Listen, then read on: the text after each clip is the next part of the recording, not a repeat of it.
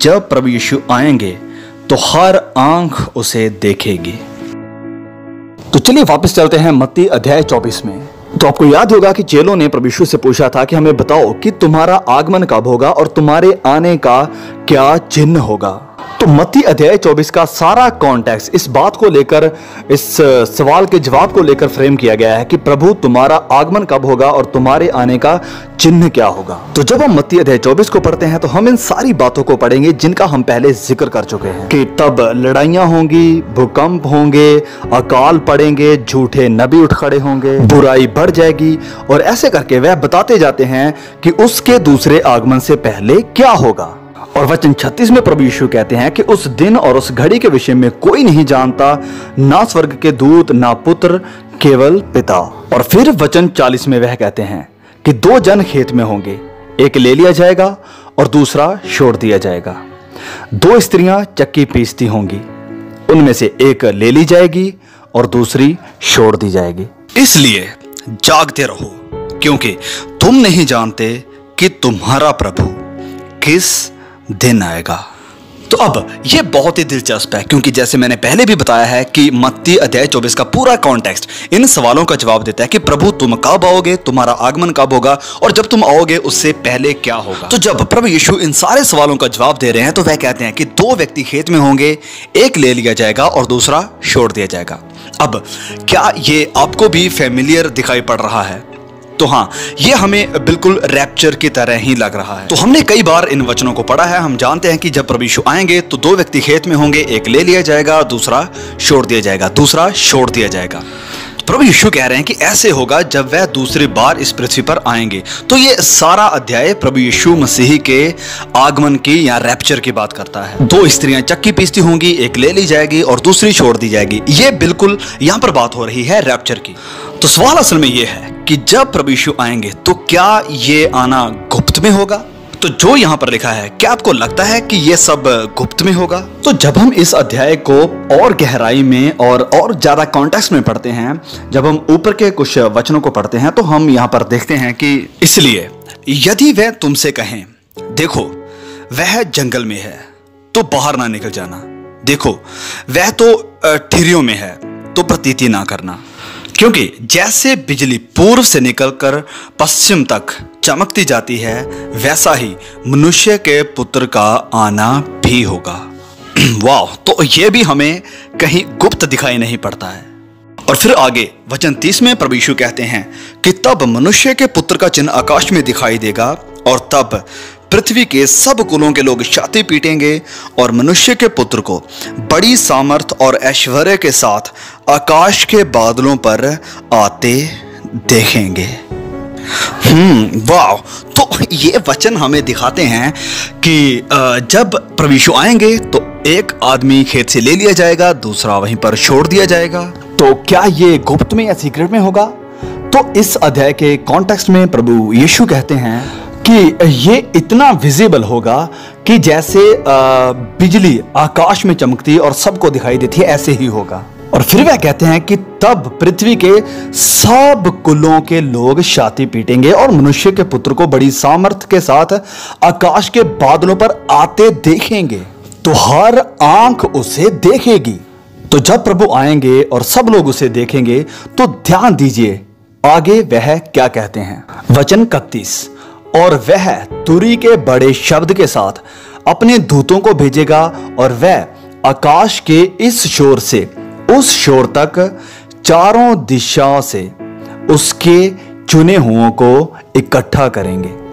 अब ये बहुत ही क्रिटिकल है। वह कहता है कि सब लोग उसे देखेंगे, सब कुलों के लोग छाती पीटेंगे और वह अपने दूतों को भेजेगा जो उसके चुने हुओं को इकट्ठे करेंगे। तो जब आप ग्रीक में इस शब्द इलेक्ट यानी चुने हुओं को देखते हैं, इसे ग्रीक में कहते हैं एक्लेटोस और यूनानी में इसका मतलब है चुने हुए।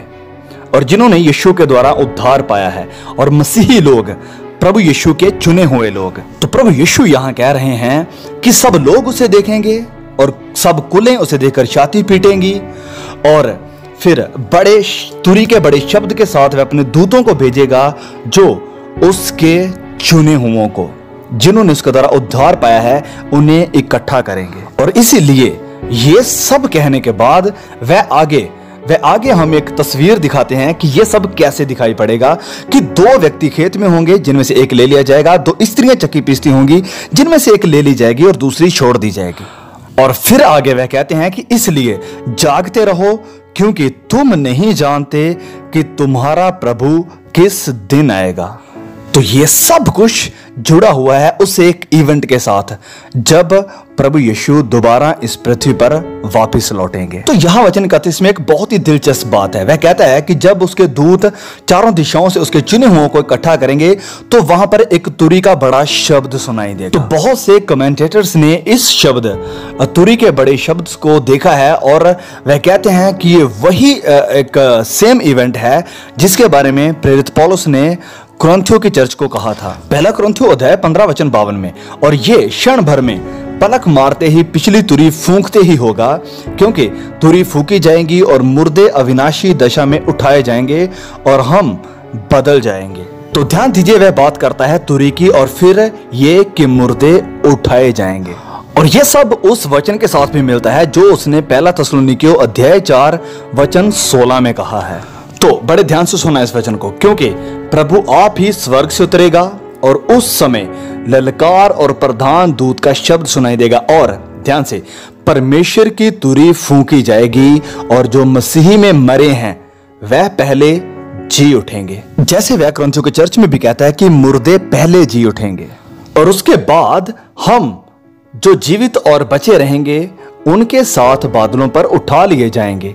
कि हवा में प्रभु से मिले और इस रीति से हम सदा प्रभु के साथ रहेंगे। तो ध्यान दीजिए, जब वह इस्तेमाल करता है इस शब्द ट्रम्पेट या तुरी को तो यह की वर्ड है। तो यही सबसे बड़ा कारण है कि बहुत से लोग विश्वास करते हैं कि यह वही इवेंट है जिसकी बात मती अध्याय चौबीस वचन इकतीस में हुई है कि जब एक तुरी का बड़ा शब्द सुनाई देगा। ऐसे थसलोनिकियों में पोलस कहता है कि वहाँ तुरी होंगी और स्वर्गदूत होंगे। यहाँ पर भी वैसे लिखा है कि स्वर्गदूत होंगे और तुरी का बड़ा शब्द फूंका जाएगा और वह उसके चुने हुओं को इकट्ठा करेंगे। और जैसे ग्रंथों में भी लिखा है कि मुर्दे पहले जी उठेंगे, और फिर थसलोनिकियों में भी यही बात होती है कि हम जो जीवित हैं, उनके साथ बादलों पर उठा लिए जाएँगे, और यहाँ पर भी लिखा है कि दो जन खेत में होंगे, जिनमें से एक ले लिया जाएगा और दूसरा छोड़ दिया जाएगा। तो ये एक सेम इवेंट है, जिसमें तुरी के बड़े शब्द के साथ हम सब हवा में उठा लिए जाएँगे। उसके दूत प्रभु से मिलवाने के लिए हमें इकट्ठा करेंगे। तो जब वह आएगा, जैसे हमने मत्ती 24 में देखा है कि सारी आँखें, सारी कौमें, सारी कुल जातियाँ उसे देखेंगी।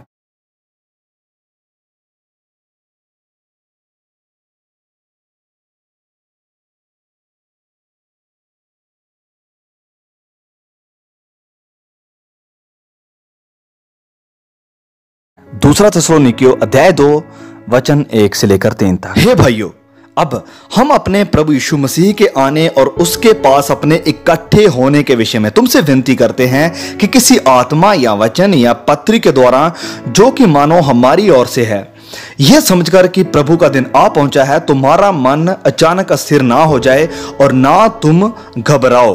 और किसी रीति से किसी के धोखे में ना आना, क्योंकि वह दिन ना आएगा जब तक जब तक धर्म का त्याग न हो ले और वह पाप का पुरुष अर्थात विनाश का पुत्र प्रकट ना हो। तो इन वचनों में प्रेरित पुरुष कह रहे हैं कि हम अपने प्रभु यीशु मसीह के आने और उसके साथ अपने इकट्ठे होने के विषय में और ऐसे वचनों को हमने पहले पढ़ा है कि हमारा प्रभु के साथ हवा में इकट्ठे होना, उसके साथ मिलना। तो वह लिखता है कि हमारे प्रभु के दूसरे आगमन और हमारे उसके साथ इकट्ठे होने के विषय में तुमसे हम विनती करते हैं कि किसी रीति से अस्थिर ना हो जाना, घबरा ना जाना और किसी रीति से किसी के धोखे में ना आ जाना, क्योंकि वह दिन ना आएगा जब तक धर्म का त्याग ना हो ले और वह पाप का पुरुष अर्थात विनाश का पुत्र प्रकट ना हो। तो कौन है वह? द एंटी क्राइस्ट वह कहता है कि प्रभु यीशु तब आएँगे जब ये पाप का पुरुष, यानी एंटी क्राइस्ट प्रकट हो चुका होगा। तो हाँ, बस यही है कि जब यह विनाश का पुत्र प्रकट हो जाएगा, तब प्रभु यीशु आ जाएँगे। तो आप उम्मीद लगा सकते हैं कि जब यह विनाश का पुत्र प्रकट यानी एंटी क्राइस्ट प्रकट होगा, उसके बाद प्रभु यीशु कभी भी इस पृथ्वी पर आ सकते हैं। अब आप कैसे जानेंगे कि यह विनाश का पुत्र यानी एंटी क्राइस्ट प्रकट कब होगा? क्योंकि हो सकता है वह अभी भी इस पृथ्वी पर हो। तो आप कैसे जानेंगे एंटी क्राइस्ट के प्रकट होने के पल को? ताकि आप मसीह की उम्मीद रख सकें। वेल well, तो इसी अध्याय का अगला वचन हमें बताता है कि आप कैसे जानेंगे कि एंटी क्राइस्ट यानी मसीही विरोधी प्रकट हो चुका है। लिखा है वचन चार में जो विरोध करता है और हर एक से जो परमेश्वर या पुजय कहलाता है, अपने आप को बड़ा ठहराता है। यहाँ तक कि वह परमेश्वर के मंदिर में बैठकर अपने आप को परमेश्वर प्रकट करता है। तो जब वह ऐसा करता है तो जान लीजिए कि मसीह विरोधी यानी एंटी क्राइस्ट प्रकट हो चुका है। और उस वक्त आप पक्का विश्वास कर लीजिए कि प्रभु यीशु के आने का और आपका उसके साथ बादलों पर उठा लिए जाने का वक्त आ गया है।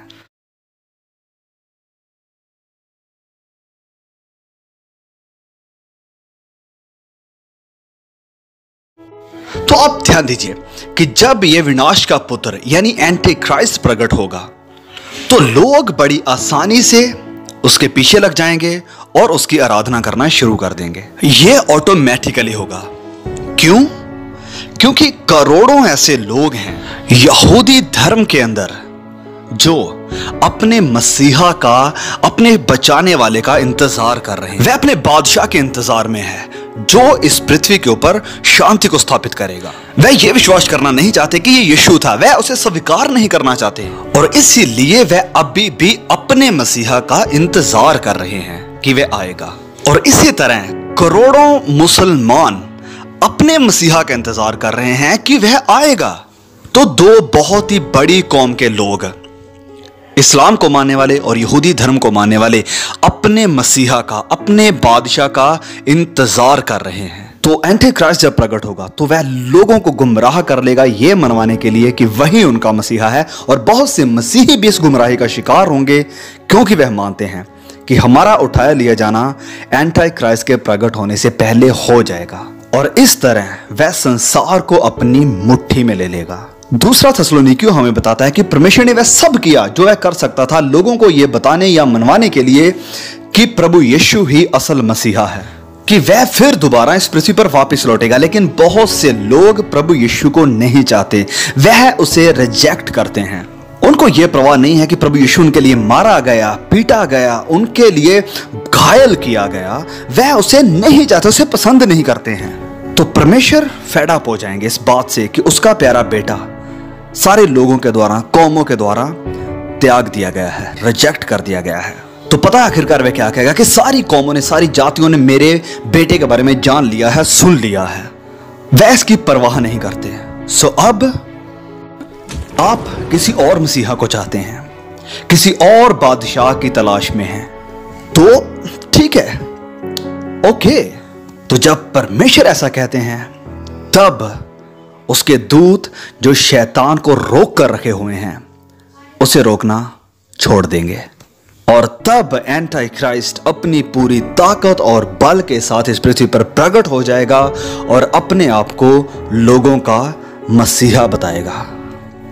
प्रेरित पौलुस लिखते हैं कि उस अधर्म का आना शैतान के कार्य के अनुसार सब प्रकार की झूठी सामर्थ और चिन्ह और अद्भुत काम के साथ और नाश होने वालों के लिए अधर्म के सब प्रकार के धोखे के साथ होगा। क्योंकि उन्होंने सत्य के प्रेम को ग्रहण नहीं किया, जिससे उनका उद्धार होता। और इसी कारण परमेश्वर उनमें एक भटका देने वाली सामर्थ को भेजेगा, ताकि वह झूठ की प्रतीति करें। और जितने लोग सत्य की प्रतीति नहीं करते, वरन अधर्म से प्रसन्न होते हैं, सब दंड पाएँगे। इसीलिए प्रभु यीशु तभी आएँगे जब सारी जातियों ने उसका सुसमाचार सुन लिया होगा। तो क्या होगा जब सारी जातियाँ उसके सुसमाचार को सुन चुकी होंगी?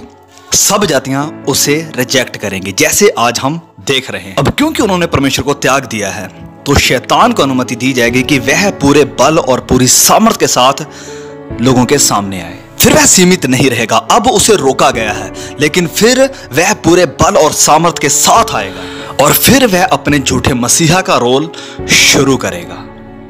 लेकिन सुने, ये बहुत थोड़े समय के लिए होगा। जब वह आएगा तो वह बहुत ही थोड़े समय के लिए टिक पाएगा, क्योंकि सच्चा मसीहा प्रभु यीशु जल्द प्रकट हो जाएगा और उसे आते हर आँख देखेगी।